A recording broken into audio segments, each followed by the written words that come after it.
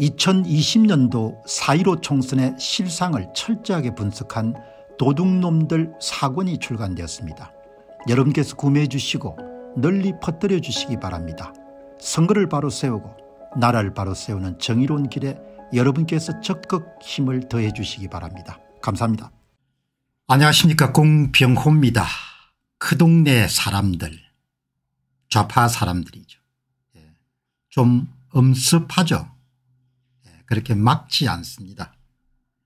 은모 계략 조작 거짓 사기 예, 이런 부분들이 그 동네 사람들이 하는 짓거리를 보면 항상 떠오르죠.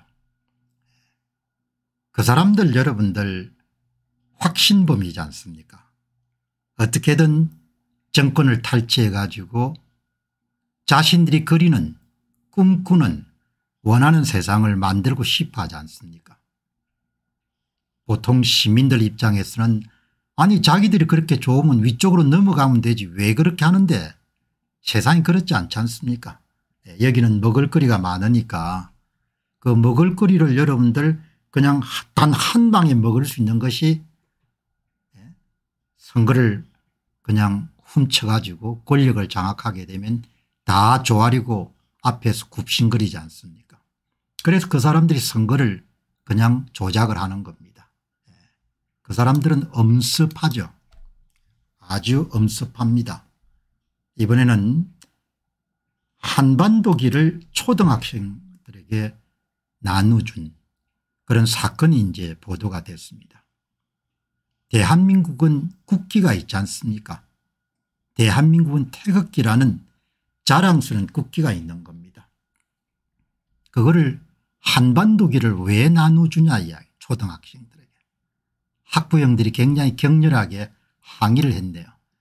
학부모들이 한반도기를 왜 우리 집 애들한테 나눠줍니까 통일교육을 왜 합니까 체제가 완전히 다른데 그 체제하고 통일교육에서 될 일입니까 중간에 이름 적당히 섞어 놓으면 좋은 일입니까? 적당히 섞어 놓으면 2차 세계대전이 끝나고 난 다음에 좌우 이름 합작 정부는 모두 다 좌익들에게 다 넘어가지 않습니까? 거기 여러분들 결국은 원하든 원하지 않든 간에 협조가 할 수밖에 없는 모양새를 취한 것이 김구 선생하고 김규식 선생이 38선을 넘어서 북한에 가가지고 잘 이용당했지 않습니까 체제가 완전히 다른 겁니다. 예.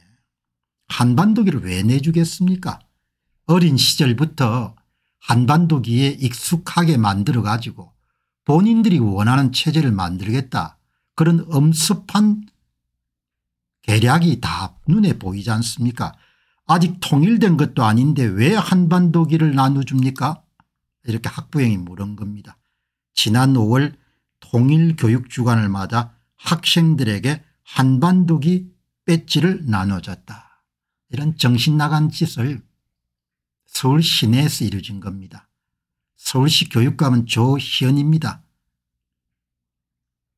2018년 여러분들 전국 동시 지방선거에 서울시 교육감 선거가 정상적으로 이루어졌습니까 사전투표 득표수 다 조작했지 않습니까 2022년도 여러분들 전국 동시 지방선거에 서울시 교육감 선거가 정상적으로 이루어졌습니까? 사전투표 다 조작했지 않습니까? 윤석열 대통령이 등장했는데 불구하고 사전투표를 무진장 만졌지 않습니까? 그래서 조희연이 당선된 거 아닙니까? 당신들 할 말이 있습니까? 할 말 없죠. 왜?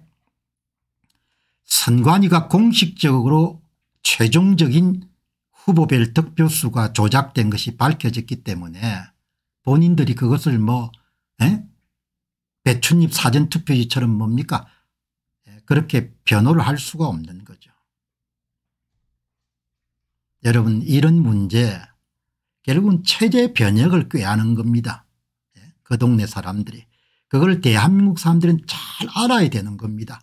내가 언제까지 이렇게 외칠지는 모르겠는데 이게 다 체제 전복을 위한 선거 부정의 일환으로 다 이루어지는 겁니다. 어린 아이들한테 한반도기를 왜 나눠줍니까 말이 되는 이야기입니까 말이 안 되는 이야기죠. 북한말을 왜 가르칩니까 일부 학부모 학교에서 가르치는 북한말에 대해서도 불만을 제기한다. 왜 북한말을 가르칩니까 표준 서울말이 있는데 이게 여러분 다 뭘 이야기하는 겁니까 그 동네 사람들이 하는 것은 딴 거 아닙니다. 정권을 장악해 가지고 영구 집권을 해서 체제를 바꾸는 겁니다. 딴 거 없지 않습니까? 그래서 선거 조작질도 하지 않습니까? 그거를 윤석열 정부 와서 아무 해결도 못하지 않습니까? 뭐 이렇게 하고 다니면 뭐합니까? 해결이 안 되는데. 지금 정도로 가면 뭐 선거 다 뒤집어질 거 아닙니까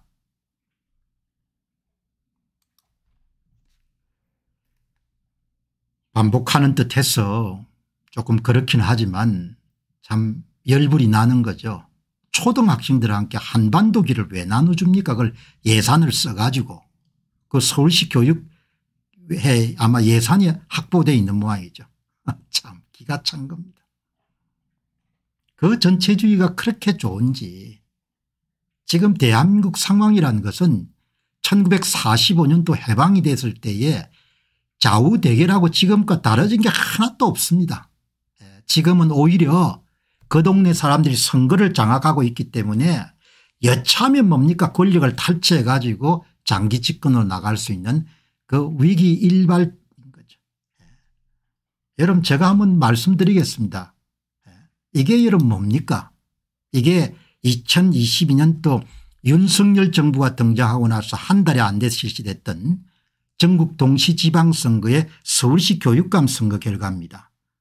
이 여러분들 자료는 선관위가 발표한 공식적인 후보가 받은 득표수 조사를 해보니까 사전투표에 정확하게 뭡니까 득표수를 조작한 흔적이 만들어졌지 않습니까 서울시 종로구에서 조전혁이 받은 사전투표 득표수 4868장 가운데 60% 사전투표 득표수 100장당 60장을 여러분들 2929표를 좀 빼앗아 가지고 누구한테 대해줬습니까? 조희연이한테 더해준 겁니까?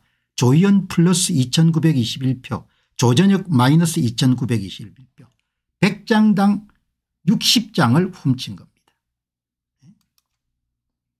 이보다 더 중차대한 일이 대한민국에 어디 있습니까?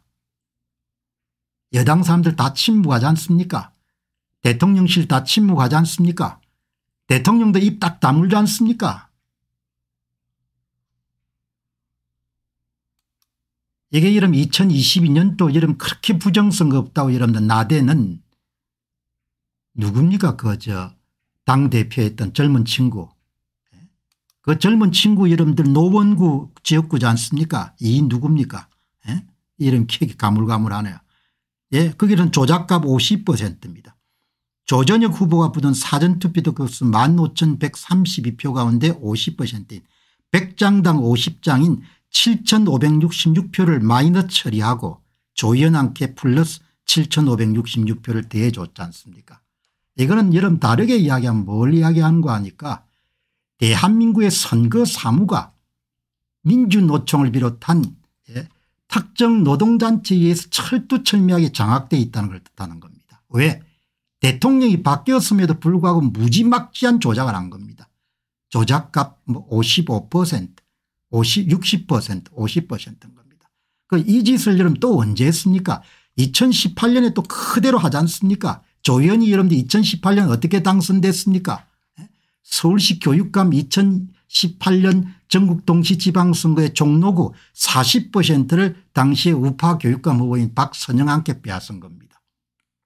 마이너스 3295표 플러스 3295표를 처리를 한 겁니다. 이렇게 해도 여러분들 한국 사람들이 이렇게 입을 다무니까 앞으로 얼마나 자식들 데리고 고생을 할지 노원구 보시기 바랍니다. 35%입니다. 35%를 조작을 한 겁니다. 여러분 한반도이 초등학생 나눠주는 것이 분격하기에 앞서 가지고 물론 그것도 옳은 일은 아닙니다. 그러나 이 모든 문제의 중심에는 선거 부정이 있는 겁니다. 선거를 탈취해 가지고 체제를 바꾸는 겁니다. 예. 그러면 뭐 한반도기를 열면 아이들한테 100장 200장 나눠줘도 말 못할 겁니다. 그래서 그 체제가 여러분들 장기 집권으로 들어가게 되면 언론들은 이런 것도 보도를 안 할 겁니다. 왜? 불이익이 떨어지니까. 예. 두더지처럼 다 숨을 겁니다. 그때는 끝인 거죠. 그때는 선거를 바로 세울 수도 없고 나라를 정상적인 궤도로 갈 수 있도록 그렇게 할 수 있는 수단도 없던 지금이 마지막입니다. 지금이. 나라의 선거를 바로 잡아서 적대 세력들에 의해 가지고 불법적으로 국가 체제가 전복되는 것을 막을 수 있는 마지막 때인데 정신들이 없는 겁니다. 한 번 더 해먹으면 마지막엔 뭐든 골로 가든 관계가 없는 겁니다. 어마어마하게 비겁한 사회고 부정의한 사회가 되어버린 겁니다. 여러분 학부형들은 체제가 바뀌면 어떻게 되는지 아시지 않습니까 자 여러분 오늘 이 지난 상반기까지 대한민국 공직선거를 해보한 도둑놈들의 시리즈가 다섯 권 출간됐습니다.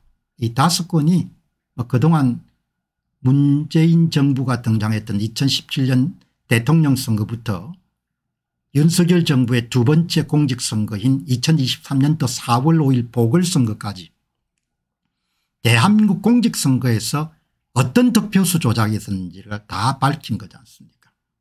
이것을 기초로 해서 사전투표 제도에 대한 QR코드 사용 금지 투표 용지의 정품을 인정하는 투표지 관리관 도장의 사인 사용 최소한 이런 것을 바꾼 상태에서 2024년 총선이 일어나야 기존의 일곱 번째 선거하고 달리 정상적인 투표가 가능할 것이다. 그렇게 생각합니다. 많이 구매해 주시고 주변에 널리 확산될 수 있도록 여러분께서 힘을 더해 주시기 바랍니다. 감사합니다. 2022년 지방선거에서 일어난 일을 낱낱이 밝힌 도둑놈들 5권 2022년 지방선거 어떻게 훔쳤나가 출간되었습니다. 이미 발간된 도둑놈들 1권 선거 어떻게 훔쳤나 2권 2022년 대선 어떻게 훔쳤나 3권 2022년 대선 무슨 짓을 했나 4권 4.15 총선 어떻게 훔쳤나에 이어서 다섯 번째 발간된 책입니다. 여러분께서 구매해 주시고 주변에 널리 알려주셔서 선거 공정성 회복을 위해 전 국민 필독서가 될 수 있도록 힘을 대 주시기 바랍니다. 감사합니다.